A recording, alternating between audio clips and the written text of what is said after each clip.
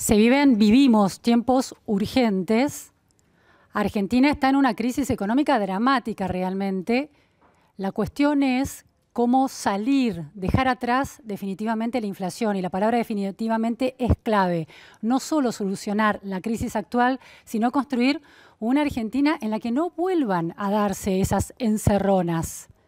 ¿Se puede? ¿Cómo? Bueno, se lo vamos a preguntar a un economista radical uno de los referentes del radicalismo de candidatos o precandidatos como Gerardo Morales o Facundo Manes dentro de la coalición de Juntos por el Cambio, específicamente dentro del radicalismo. Eduardo Levillellati, muchas gracias por estar aquí. No, un placer. Bueno, Eduardo es doctor en Economía por la Universidad de Pensilvania, es el decano de la Escuela de Gobierno de la Universidad de Itela, Em, profesor visitante de la Harvard Kennedy School of Government, investigador principal del CONICET, autor, entre otros libros, de Porvenir, Caminos al Desarrollo Argentino. Eduardo, la vicepresidenta la semana pasada dejó claro cuál es su marco conceptual, su cadena de causas y efectos para concebir el problema económico en la Argentina. Minimiza el problema de la emisión y del déficit y plantea un, pone el foco en la evasión, en una economía bimonetaria, en la fiesta de eh, importaciones. ¿La inflación es el eje ordenador, la variable ordenadora para pensar el problema económico en la Argentina? ¿Cuál es tu diagnóstico y cuánto pesa esa variable? Mira, em, la inflación es un síntoma, en todo caso, de muchos otros problemas. Nosotros a veces estamos tan acostumbrados a vivir con inflación que nos olvidamos que la bajamos varias veces. Nosotros hemos tenido en la historia varios planes de estabilización que han sido efímeramente exitosos y algunos que han sido exitosos por mucho tiempo. O sea, el plan austral del 85 bajó la inflación, ganó una elección, de hecho, la primera elección legislativa. Eh, la convertibilidad duró mucho y nosotros tuvimos casi inflación cero durante 10 años. Obviamente explotó por otros lados. Eh, en el 2002, a fin del 2002, la inflación era 3%.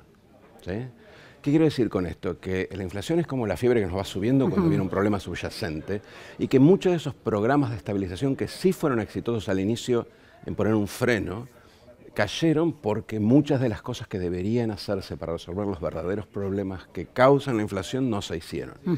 Entre ellos, la consolidación fiscal, el hecho de poder tener al menos un par de años de superávit, que es la causa fundamental, por un lado, de la crisis de deuda, o sea, nadie nos presta si nosotros no podemos pagar ni siquiera los intereses de la deuda.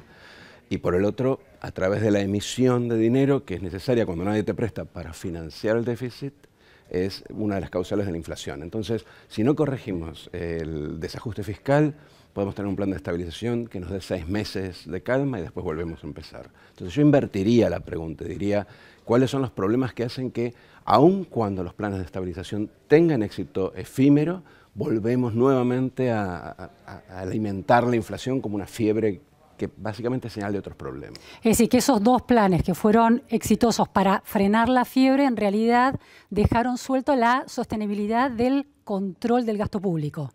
Eso, entre otras cosas. en, el caso del Plan Austral fue muy claro. El Plan Austral era una ventana para hacer otro tipo de reformas, incluyendo las privatizaciones. Había un montón de planes detrás del Plan Austral. Cuando uno estabiliza, lo que quiere es dar espacio político a un gobierno para hacer las reformas que luego hagan que esa estabilización sea permanente. Bueno, lo que sucedió es que en vez de tener un déficit fiscal del 3%, tuvieron uno del 6% y hubo descontrol fiscal y teníamos una deuda muy difícil de pagar, en fin, una serie de problemas que dinamitaron el plan. Y en el caso de la convertibilidad, Sí hubieron reformas al inicio, fue muy distinto los primeros años de la convertibilidad, independientemente de lo que uno piense de esas reformas. Y hubo un ajuste fiscal ayudado por un plan Brady que pateó los pagos de la deuda hacia fines de los 90, pero la fragilidad de la dolarización, que era esencial a la convertibilidad, y el hecho de que nosotros perdiéramos la disciplina fiscal, porque nos convencimos de que íbamos a crecer a tasas chinas durante 10 años, hizo que cinco años después fuera un fracaso. Entonces, no le achaquemos a la estabilización la vuelta de la inflación.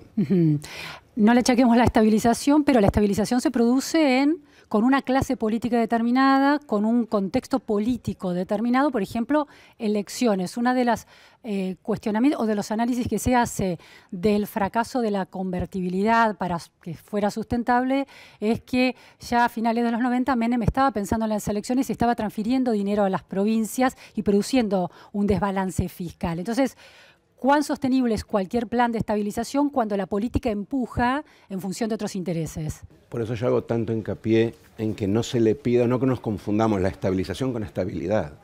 Lo que, simplificando mucho, me da la sensación que sucedió en los 90 con la convertibilidad es que en algún momento el gobierno creyó que ya había llegado y que podía comportarse como un país desarrollado, eh, abriendo un déficit que a la larga era infinanciable.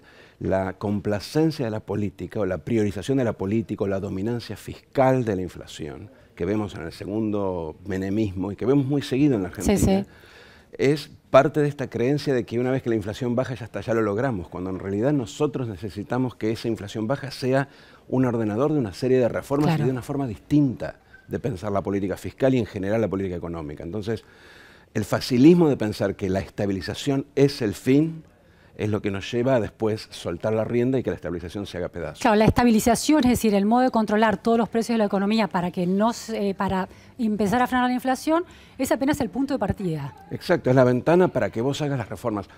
Pensar en el 2024. En el 2024 nosotros tenemos que hacer tenemos que hacer un cambio de régimen de políticas económicas, en muchos aspectos, en el sociolaboral, en la forma en que funciona el Estado, en una reforma tributaria, en fin, hay una serie de reformas que si no bajamos la inflación, es muy difícil que el gobernante tenga espacio político para impulsar las reformas porque la inflación te genera ansiedad y urgencia. Una vez que nosotros paramos la inflación, seis meses, doce meses, a niveles menos asustadores, tenés que meter las reformas. Bien, entonces vamos por partes. 2023, supongamos que gana Juntos por el Cambio, más allá de qué candidato, Juntos por el Cambio, em, arranca 2024. ¿Cuál es ese plan en términos de lo urgente, que es la inflación del primer plazo? Porque hoy el gobierno no lo está pudiendo hacer. El gobierno de Cambiemos terminó con inflación del 50, una inflación récord en 28 años a ese momento, creo que era 54%. Entonces, ¿qué chances hay de que efectivamente una nueva, una nueva presidencia, esa alternancia, logre encontrar la llave que permita empezar a frenar la inflación? Mira, depende mucho de, la voluntad política, aparte de que el diseño técnico del plan de estabilización sea consistente. ¿Y cómo sería ese, ese diseño técnico? Yo, te digo, eh, mirando un poco hacia las estabilizaciones del pasado, yo creo que debería ser un blend, dado que somos un país que produce vinos, es un buen término. Un blend del plan austral, de la convertibilidad y diría en parte también de la estabilización del 2002, que fue basada en ese caso forzadamente en una contracción monetaria y fiscal muy fuerte y en un, si querés, una, un traslado de riqueza, una apertura de, oportunidades al sector privado. No te olvides que nosotros vamos a llegar al 24 con el Estado quebrado. No hay impulso fiscal, no tenemos con qué impulsar la economía. Entonces, si no logramos que el sector privado responda, aunque sea tibiamente, con mayor inversión, con formalización de la economía, ampliando la base tributaria, bueno, es muy difícil que eso se sostenga. Y si nosotros no crecemos, la presión política hace que luego todos estos planes que los economistas armamos se vayan disolviendo. Entonces, Ahora, ¿eso privado cómo se logra? ¿Ese objetivo de que lo privado se... A ver. No, lo que tenés por lo pronto que plantear los privados es un mínimo de estabilidad continua que vos bajes la inflación o arregles los precios relativos, las tarifas y sobre todo el tipo de cambio durante un año, no es suficiente para un sector privado, que somos todos nosotros, que estamos acostumbrados a la temporalidad de las políticas argentinas. Yo hago reformas, hago cambios, estabilizo seis meses la economía y el privado va a estar pensando antes de invertir cuánto dura esto. Claro. Y espera. Pero al esperar demora el crecimiento y le pone presión al político para sostener las reformas. Es como un círculo vicioso. Entonces, es fundamental generar medidas, anuncios e incluso pagar algún costo político anticipado para darle la señal al privado que esta vez hay alguna posibilidad de que sea diferente que en el pasado. ¿Cuál sería una medida que llevaría a pagar costos políticos en el plan que ustedes imaginan? Bueno, mira, el costo político hoy eh, es la imagen del gobierno. Si vos haces políticas que son en lo inmediato impopulares, aunque sean en algunos sectores, y ves que el gobierno se banca de alguna forma la caída de imagen que ves en la mayoría de los gobiernos, estás viendo a Boris acá, los, Boris en Chile, lo viste en Macron, en el primer Macron, o sea, bancarte el costo de mover las piezas de manera que haya ganadores y perdedores, pero moverlas de manera que hacia el futuro tengas mayor crecimiento, mayor empleo. Si ves que el gobierno está dispuesto a pagar ese costo anticipadamente, capaz que ahí el primado piensa, bueno, esta gente ahora se está tomando las cosas Eso en lo entiendo, pero en el plan que ustedes están diseñando falta poco, un año y pico, para que eventualmente asuman el poder si ganan las elecciones. ¿Cuál es esa medida que los preocupa? Porque es impopular, pero es la señal que necesita el sector privado y es lo que permite en el mediano plazo, un mediano plazo corto, arrancar más consolidados. Bueno, vas a tener que posiblemente generar un balance fiscal o estar cerca del balance fiscal equilibrio fiscal en el 2024 y eso implica un ajuste, una consolidación, una, una reparación de las cuentas públicas de 3 a 4 puntos del PIB. No se ha dado nunca en la historia reciente. ¿Eso, es tarifas? ¿Eso es tarifas? ¿Cuáles son la, las variables que pueden influir tarifas, en eso? mucho gasto público que es, eh, no es esencial, eh, algunos ajustes en las empresas públicas, en fin, hay que ir línea por línea. Tampoco es tan fácil en un contexto en donde la Argentina no crece. Por eso te digo, esas medidas son costosas. Ahora, no hay alternativa, no tenés cómo financiarlo salvo con emisión en el 24, porque nadie te va a prestar para financiar ese déficit. Nosotros ya usamos todo el dinero de las multilaterales, eh, el mercado de pesos doméstico está hackeado. De hecho, yo creo que vamos a tener que mantener el cepo para tener al menos esa línea de vida doméstica, mantenerlo aunque sea por un tiempo. Y básicamente eso no te da como para financiar un déficit de 2, 3, 4%. O sea, vas a tener que tener equilibrio fiscal. Eso es costoso.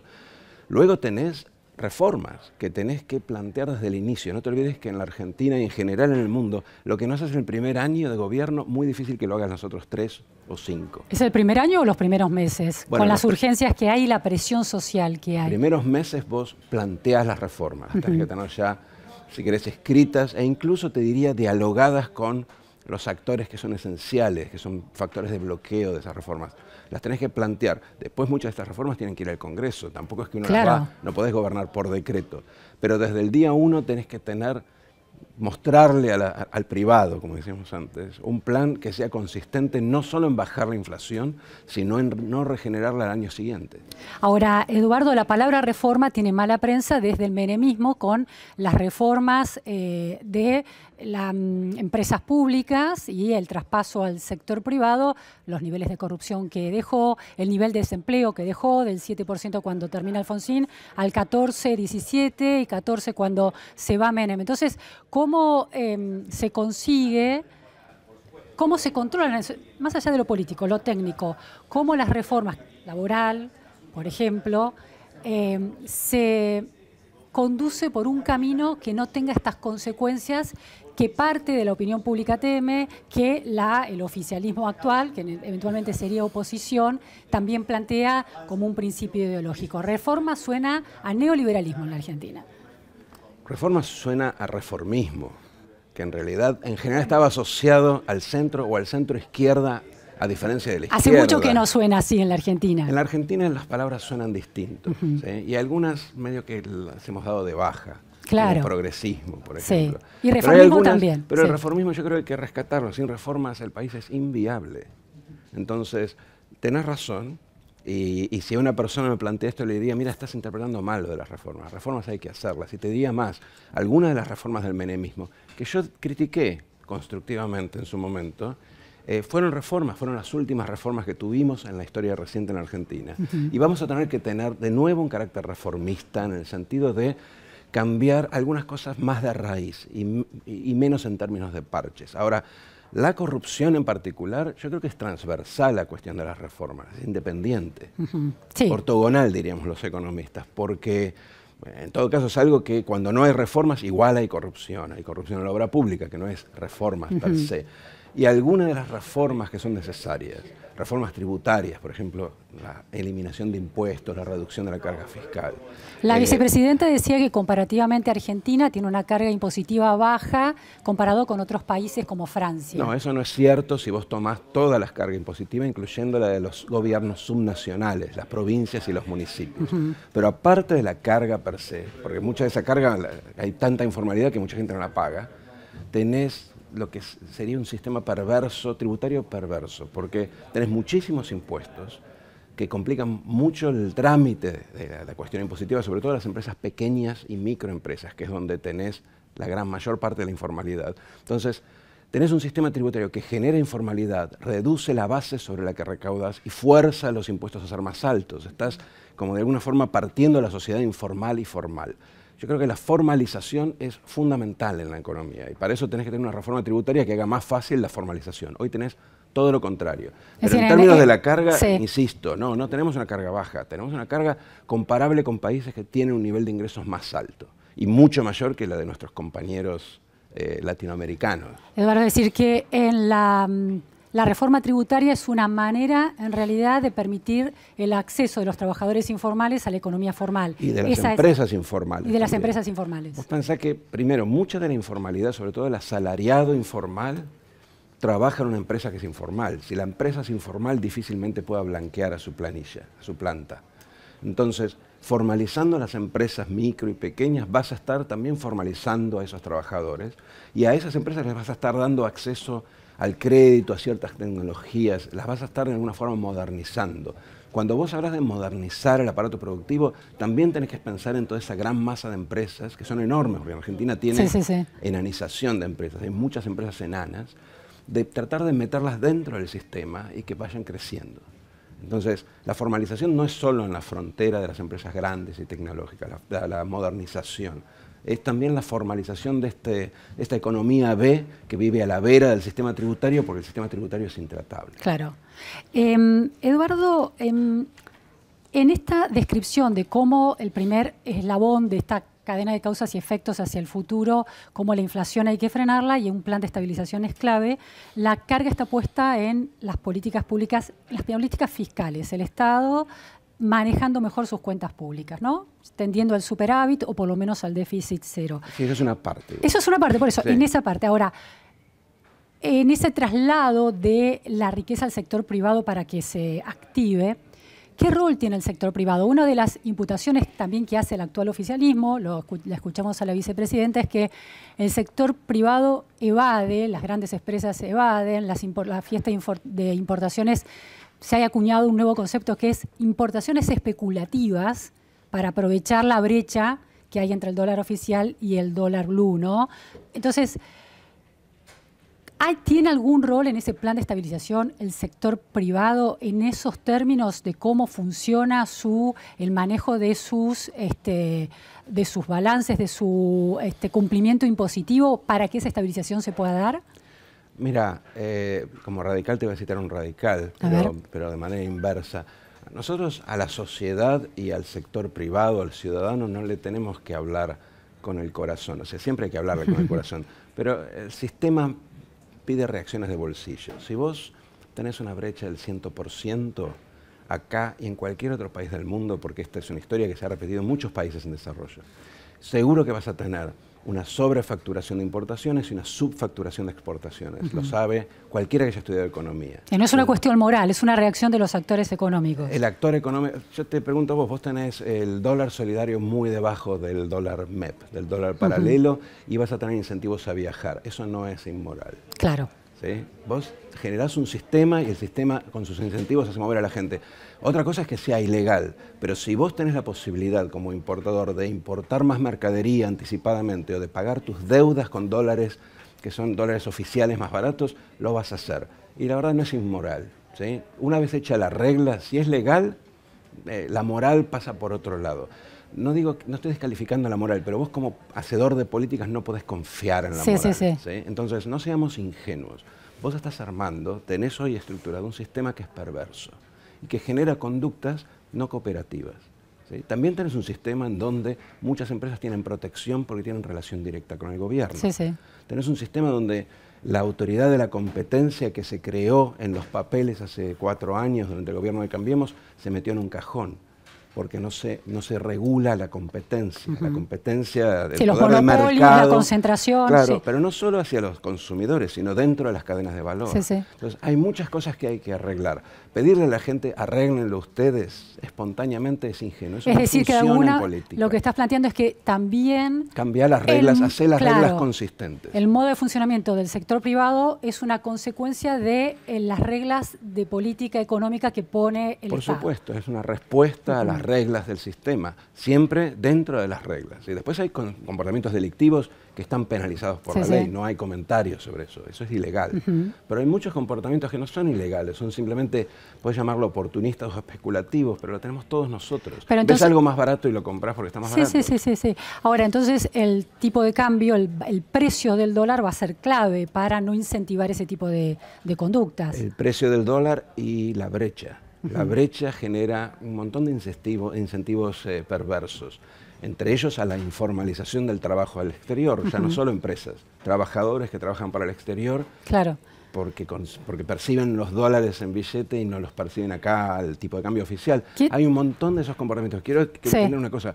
El, cuando uno va al gobierno, el que hace políticas públicas, tiene que tomar las riendas de ese problema, no pedirle al sector privado que se adapte a un sistema que es en sí perverso. Claro, no es un, eh, el, la el plan económico no es un púlpito para sancionar conductas de quienes están en la vida común, sino para intentar conducirlas hacia otro lado. Sí, aparte de decir otra cosa, tenemos que dejar de dialogar con la vicepresidenta cuando la vicepresidenta se pone en, rol de comentarista. El gobierno es otro. En el gobierno, el presidente y sus ministros no dicen eso que dice la presidenta. Entonces, antes que nada, yo formalmente la gente votó a un presidente y a un gobierno y a un gabinete de ministros. Entonces, no dialoguemos con un comentarista, dialoguemos con el gobierno. Comentemos y critiquemos las políticas del gobierno. La política del gobierno eh, cambiaria y, contra la inflación generó, sí, incentivos perversos que hacen que nuestro eh, superávit comercial se achique por esto que te mencionaba antes. Ahora, en este plan eventual, ¿cómo se maneja la brecha? ¿Cómo se reduce esa brecha? Bueno, para empezar vas a tener que ajustar los precios que están atrasados y en particular el tipo de cambio y las tarifas. Subir, entonces, eh, devaluar, es esto. Bueno, o, depreciar, dejar que el tipo, hoy por lo que estás haciendo es interviniendo el tipo de cambio, vas a tener que llevarlo a un nivel que sea más afín a las presiones cambiarias, sobre todo financieras. Yo no sé si es competitivo o no el tipo de cambio hoy, posiblemente esté un poco atrasado por los impuestos a las exportaciones, pero vas a tener que llevarlo a un nivel en donde la presión cambiaria que se manifiesta en la brecha, o sea, cuanto mayor presión, aumenta la brecha, que esa presión se reduzca de manera que la brecha pase a ser menor, pase a ser un, factor disruptivo pero no determinante de las acciones. Es decir, el dólar oficial se va a acercar al dólar, blue, al dólar blue. El dólar oficial debería subir a niveles más razonables en términos reales, es decir, después de netear el impacto que va a tener eso en la inflación.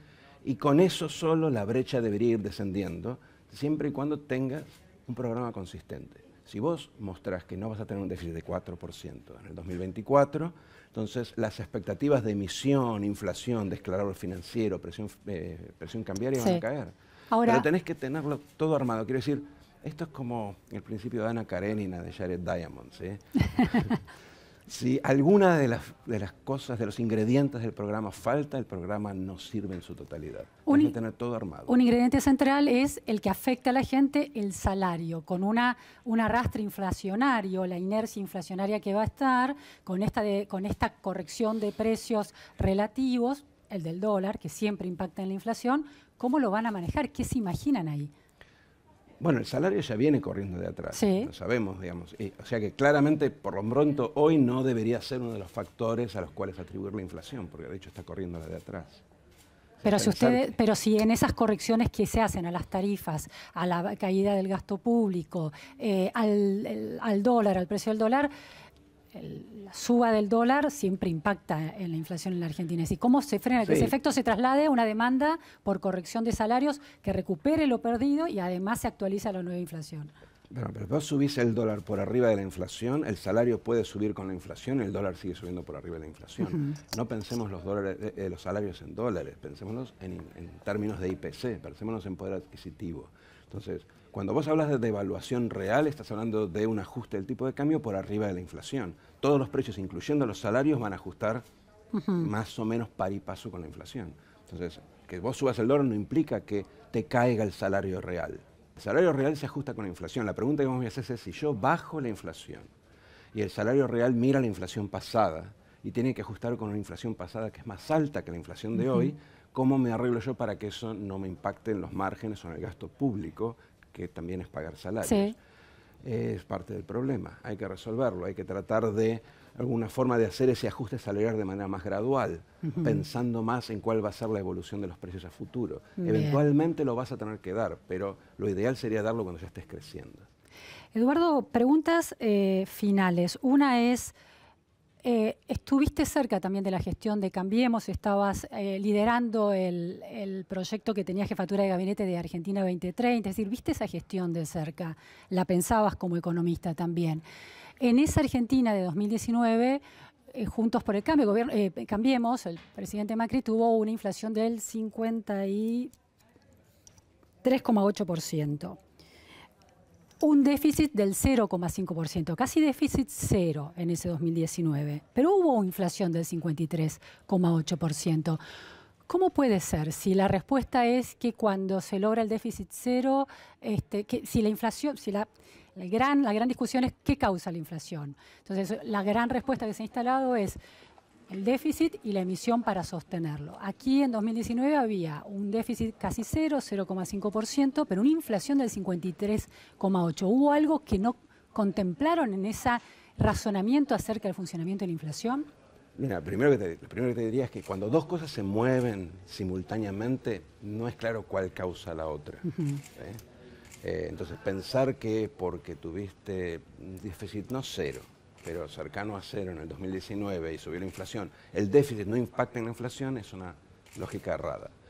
Eh, es una pregunta, yo digo, porque está tan instalada esta idea, digo, pero ¿y acá estas dos variables cómo También ha pasado que en el año 2018 y sobre todo 2019 la emisión monetaria fue muy baja porque el Fondo Monetario imponía una baja emisión. Bueno, pero devaluaste. La inflación depende de muchas cosas, entre otras del tipo de cambio. Mira el tipo de cambio. De la misma forma en que vos bajaste la inflación, de hecho la bajaste en el 2017 porque el tipo de cambio estaba atrasado y pensabas que la habías bajado pero en realidad en gran medida era porque el tipo de cambio estaba atrasado. Cuando el tipo de cambio recuperó su nivel, un nivel más normal e incluso hubo un overshooting, en el sentido de que eh, sobre reaccionó, bueno, la inflación subió con el tipo de cambio. El tipo de cambio es importante y por eso va a ser uno de los ingredientes de un plan de estabilización, casi necesariamente el manejo del tipo de cambio. Cuándo devaluás y cuándo lo estabilizás para que sea un ancla adicional de una inflación que es muy inercial. Entonces, lo que digo es, eh, la inflación del 2019 fue en parte, si querés, la inflación que habías reprimido en el 2017 atrasando el tipo de cambio. Eduardo, dos últimas preguntas. Em, a pesar de que hay un consenso teórico, académico acerca de cómo funciona la macroeconomía en la Argentina y en el mundo, lo vemos, la inflación en Estados Unidos tiene que ver con las políticas de expansión que se llevaron adelante en la pandemia, después la guerra genera otras distorsiones. En el gobierno los economistas sostienen, vos decís que Guzmán sostiene unas ideas, pero Kisilov sostiene otras ideas como gobernador y ha sostenido otras ideas como ministro de Economía. La vicepresidenta parece estar más alineada con ese ideario. Entonces la cuestión es, ¿la Argentina fracasa cíclicamente en su economía por cuestiones políticas, ya dijimos que hay una importante motivación de la política en ciertos momentos electorales a expandir el gasto irresponsablemente, o también por formación técnica, cualidades técnicas de los cuadros económicos que tienen unas visiones muy particulares, pues lo hemos visto en el kirchnerismo.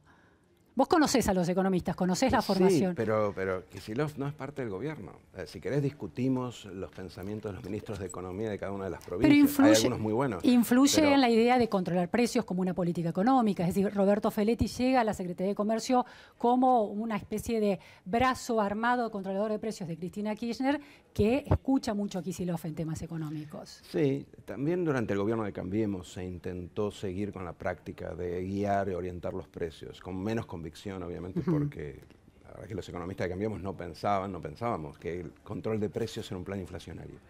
Eh, creo que hay muchas influencias dentro del gobierno y es cierto que ha habido, eh, vos mencionabas a Feletti, gente que realmente pensaba que podía, con un plan de control de precios, controlar la inflación. Bueno, me parece que está errado y me parece que las pruebas están a la vista. Eh, el equipo económico de Guzmán creo que piensa distinto, ha tenido poco espacio y ahora ya es demasiado tarde porque uno de los ingredientes de un programa antiinflacionario es la credibilidad de tus medidas. O sea, si vos movés las palancas, haces anuncios, modificás algunas normas y el sector privado piensa que eso no va a durar seis meses, ni se no responde. Ahora, la credibilidad de las medidas tiene que ver con un plan consistente, como explicabas, también con la autoridad presidencial. Es lo mismo que no se sabe cuál va a ser el candidato de Juntos por el Cambio y se insiste con que va a haber una paso y la gente va a votar, pero que va a llegar con una especie de plan maestro a partir del cual activar el plan económico. ¿no? Va a haber ciertos consensos. Esa es la idea que se. Ahora, ¿Es lo mismo que sea un candidato el que ponga en juego ese plan? Es decir, que sea un presidente, sea Manes o Morales o Macri o Larreta. No, no es lo mismo. No es lo mismo porque las decisiones económicas siempre son decisiones políticas. De hecho, lo que, como yo veo un plan hoy, después de, haber, de años de haber interactuado con el sector público, es un perímetro dentro de los cuales vos tenés diferentes opciones. Vos definís el perímetro, y mira, esto, por, para acá no vayas, esto es imposible acá tenés posibles combinaciones. Y después va a venir el gobierno, el, presidente, y va a decir, mira, esto no lo puedo hacer, no me animo a hacer esto, esto me parece que está mal. Y va a decir el presidente. Entonces, la razón de ser de ese plan maestro no es un libro blanco ni una planificación a largo plazo, en Argentina eso es imposible, es definir ese perímetro, ¿ok? ¿Cuáles son las opciones que tienen alguna chance de poder estabilizar de manera permanente? Eso sí va a ocurrir. Ahora después la personalidad del presidente decide. las decisiones de política pública son, más allá de que después si salen mal lo mandan al frente al economista o al técnico, son decisiones políticas. La personalidad del presidente define.